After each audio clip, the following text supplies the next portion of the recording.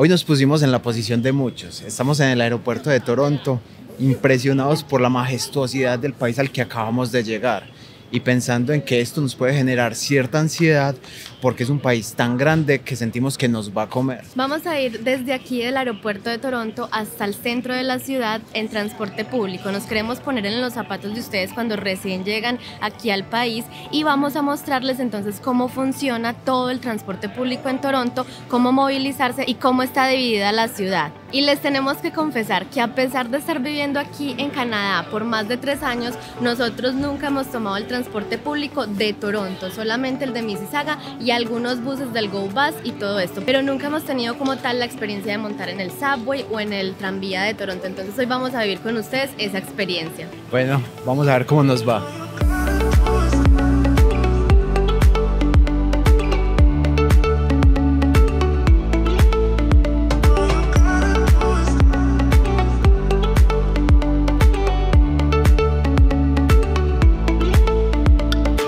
Una vez lleguen al aeropuerto de Toronto y se encuentran con este letrero hermoso que tenemos acá que dice Welcome to Toronto, ustedes tienen dos opciones. Pueden o tomar un Uber que les puede valer entre 40 a 80 dólares dependiendo del lugar a donde vayan, o pueden tomar el metro que les va a valer entre 3 o 4 dólares y va a ser súper cómodo el viaje hasta el centro de Toronto. ¿Por qué? Porque el metro tiene la opción de que usted pueda llevar coches, pueda llevar sus maletas sin ningún problema. La cosa entonces cuando usted llega aquí al aeropuerto debe descargar ciertas aplicaciones que le van a ayudar, obviamente para guiarse dentro de esta ciudad que no conoces. Pero ustedes van a decir, ah, obvio, para ustedes es súper fácil porque ustedes ya tienen datos aquí en Canadá y todo esto, pero tenemos una solución para esto. Ustedes cuando lleguen aquí al aeropuerto pueden decir como listo, yo tengo acceso a internet porque hay acceso a internet gratuito en el aeropuerto. Sin embargo, cuando ustedes salgan de acá y estén afuera en la ciudad transitando, ustedes no van a tener un acceso seguro y fijo todo el tiempo a un internet. Entonces la recomendación de nosotros es que ustedes activen su plan con Firo desde antes de llegar aquí a Canadá y lo mejor de todo es que cuando ustedes salgan por estas puertas de acá del aeropuerto van a llegar a esta burbuja donde está ubicado Firo y Rogers y ustedes pueden aquí reclamar su SIM card. Esto es una súper ventaja que ustedes pueden hacer un trámite que pueden adelantar desde sus países y es súper sencillo y va a ser súper conveniente para ustedes poder llegar, tener aquí su SIM card, ponerla dentro de su celular y la SIM card va a estar activada 48 horas antes de ustedes llegar aquí a Canadá. Entonces va a ser súper fácil el trámite. La atención va a ser 100% en español, que es otra cosa súper buena y lo mejor de todo es que no van a tener fees de activación, no van a tener ningún tipo de cargo de activación que siempre son unos cuantos dólares que uno se ahorra ahí y van a hacer también planes exclusivos para ustedes por hacer todo el trámite con nuestro link que se los vamos a dejar en la descripción. Entonces ya saben, el trámite es súper sencillo. Esta burbuja está abierta de 6 de la mañana a 12 de la medianoche, entonces es un horario súper extenso y en caso tal de que su vuelo llegue aquí a Canadá en un horario que no está abierta la burbuja, entonces la SIM card les va a llegar a ustedes directamente a la dirección que ustedes le den a ellos. Entonces ya saben chicos, saquen ventaja de esta posibilidad que ustedes tienen en este momento, que lo mejor cuando uno llega a un país que no conoce, que no sabe es primero estar comunicado, poder tener acceso a internet y poder decirle a nuestros familiares en nuestros países, ya llegué y estoy bien.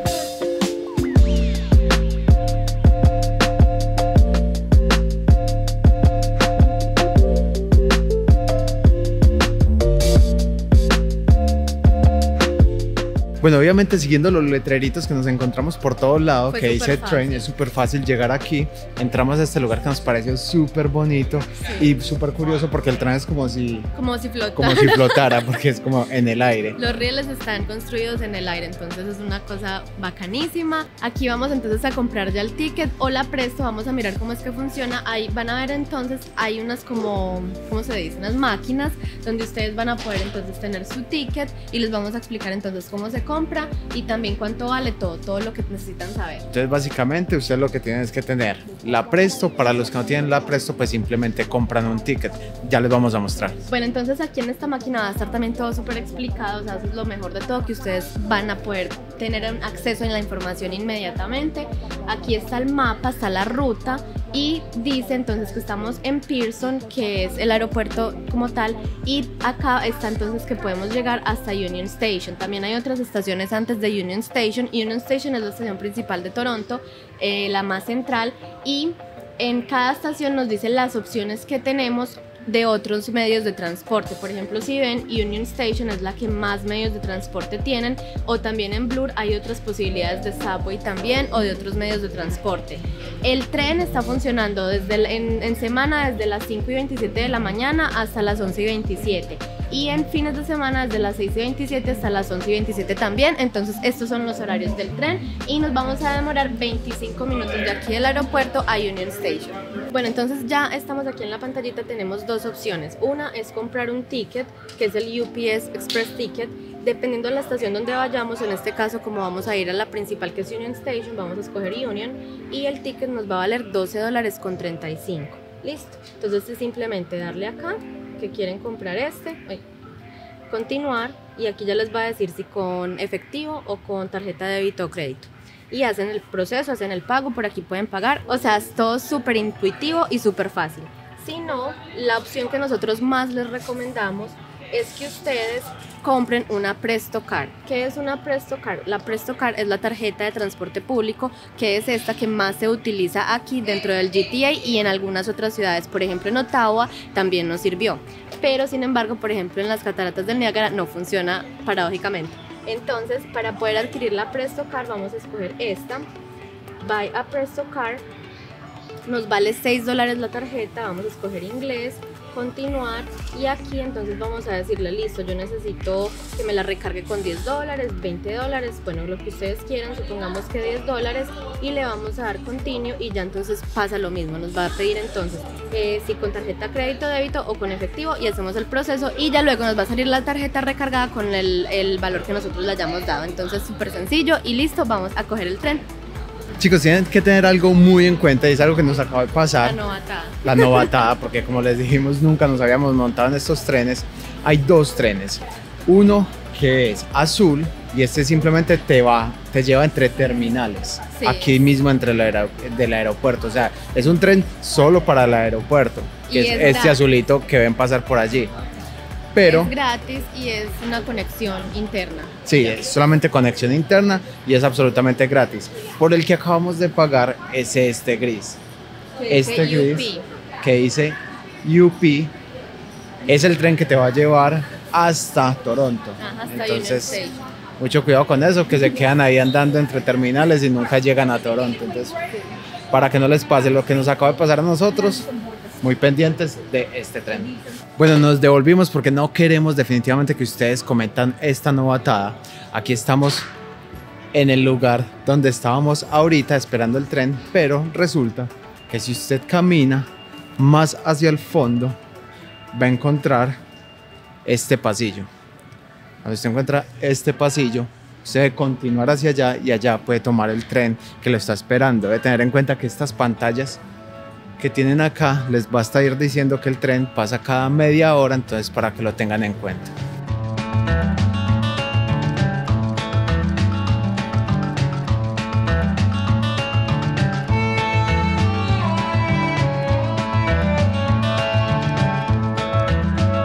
Bueno, ya llegamos al tren. Vea el azulito al que nos íbamos a montar. Ese es el que no deben de coger por tercera vez. Eh, básicamente, pues aquí hay como espacios donde usted pueden dejar sus maletas y pues las sillas, muy normalito la verdad, huele muy bien, eh, está muy limpio.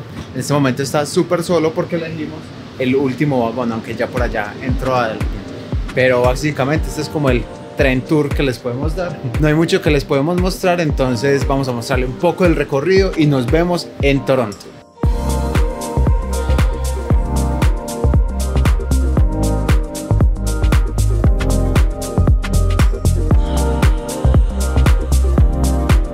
Hemos de llegar al Union Station, pero ahora ¿qué hacemos? Empecemos por lo básico, entender qué es el GTA o el Greater Toronto Area, es decir, el área metropolitana de Toronto y sus alrededores.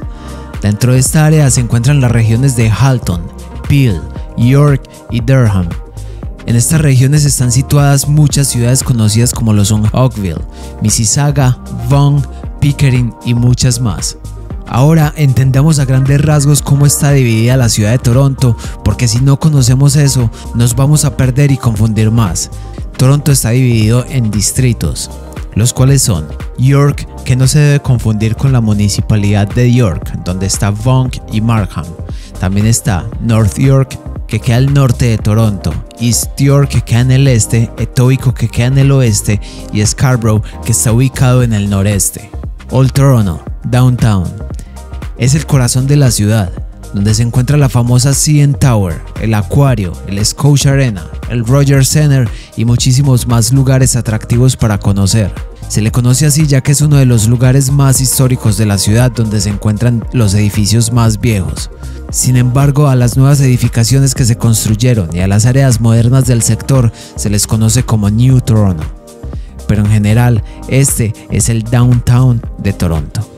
Listo, ahora que ya llegamos a Toronto tenemos más posibilidades de movernos acá. No solamente el metro que nos trae desde el aeropuerto hasta acá es el único. De hecho tenemos el subway que es como el metro subterráneo. También tenemos el tranvía que se conoce como streetcar. O también tenemos los buses normales que nos llevan más que todo, pero como a los barrios y eso. Aquí en el downtown se mueve más que todo. Lo que es el subway y el tranvía y todos son operados por la empresa del TTC. Algo súper bueno de Toronto es que al ser una gran ciudad el transporte público está súper bien interconectado. Incluso dicen que muchas veces las personas aquí ni siquiera sienten una necesidad de comprar un carro o que si lo tienen rara vez lo sacan para movilizarse dentro de la ciudad. Lo utilizan más que todo para salir a otras ciudades, para ir a pasear, para ir a otras provincias, pero no como tal dentro de la ciudad porque incluso es muy caótico manejar dentro de Toronto por la cantidad de gente que hay. Entonces, ya que llegamos aquí a Union Station y llegamos al corazón de la ciudad, entonces ya tenemos que decir cuál de las cuatro líneas del subway nos va a servir o cuál de las 150 rutas de autobuses nos va a servir o cuál de las nueve líneas del tranvía es la que nos va a servir. Todo esto va a depender de cuál es el punto en Toronto al que ustedes tengan que llegar y saber movilizarse por esta ciudad va a ser crucial para poder llegar a sus trabajos, para poder llegar a su college, para poder conocer muy bien la ciudad. Vamos a ver cuáles son las opciones que tenemos y cómo funcionan todos estos medios de transporte aquí en Toronto. Algo que es súper bueno es que la Presto Car que compramos al inicio nos va a servir para todos estos transportes públicos y lo bueno es que por dos horas tú vas a tener acceso limitado independientemente si es otro medio de transporte. Es decir, si tú a las 10 de la mañana te montaste en el subway y luego tienes que tomar el tranvía y luego tienes que tomar un bus, todo eso te sale ilimitado por dos horas con la Presto Car. Del sistema de transporte de Toronto hemos escuchado muchísimas cosas. Hemos escuchado que es muy limpio, que es muy grande, que es muy bonito, como acabaron de ver, pero que también hay cosas que no son tan buenas. Y es que, por ejemplo, las personas, los habitantes de calle, suelen entrar a dormir a los mismos streetcars, suelen entrar a los subways, suelen entrar a ciertos lugares donde obviamente, como estamos acostumbrados, nos molesta un poco que estén ahí y de pronto nos asustan un poco. También hemos escuchado que en invierno específicamente, obviamente al estar más frío afuera, ellos buscan dónde quedarse en un lugar donde esté caliente y pues este es el lugar público donde nadie los va a poder sacar. Y ellos empiezan a hacer escándalo, empiezan a hacer un montón de cosas que obviamente son muy molestos y pues lastimosamente a veces toca aguantarlos. Lastimosamente es una realidad que se vive aquí en Toronto pero muchas veces ellos son inofensivos, simplemente están bajo el efecto de las drogas y solamente están en su mundo haciendo cosas, pero lastimosamente hace poquito pasó algo muy maluco y es que se ha visto que en ciertas ocasiones han atacado a las personas sin ningún tipo de razón y hace poquito mataron a una persona. Entonces, aunque ustedes estén aquí y ellos y uno sabe que ellos no van a hacer mayor cosa, es mejor estar un poquito lejitos de ellos y evitar cualquier tipo de cosa que pueda pasar. También tengan en cuenta chicos que esto es una gran ciudad y cualquier gran ciudad como lo es Nueva York, como lo es París, como lo es un montón de grandes ciudades, tienen este gran problema con los habitantes de calle. Nada que hacer. Con respecto al transporte público en Toronto, las opiniones son muy divididas. Muchos nos dicen que es súper bueno, que es súper eficiente, que todo funciona súper bien. Otras personas nos dicen que a veces, el, por ejemplo, el, streetcar se para mucho en las calles porque se daña por cualquier razón, especialmente en invierno cuando neva, es un poco complicado. También nos han dicho que en el subway sin razón alguna como que les dicen que se bajen y eso retrasa obviamente eh, la ruta de cada persona y yo creo que eso depende mucho como de la experiencia de cada uno y aparte del horario en el que uno esté viajando. En semana esto, en días laborales esto es así, ustedes no se quieren imaginar y como hoy es domingo pues tal vez no vamos a ver tanta gente como se suele ver en semana, pero vamos a tratar de vivir la experiencia, de mostrarles lo que más podamos para que ustedes sepan más o menos cómo es el transporte público aquí. Debido a que queríamos hacer este video bien completo, se nos hizo bastante largo, así que decidimos dividirlo en dos. En el próximo video estarán con nosotros conociendo por dentro las formas de transporte principales. Quisimos vivir la experiencia estando dentro para conocer qué tan efectivo y seguro es el transporte en Toronto.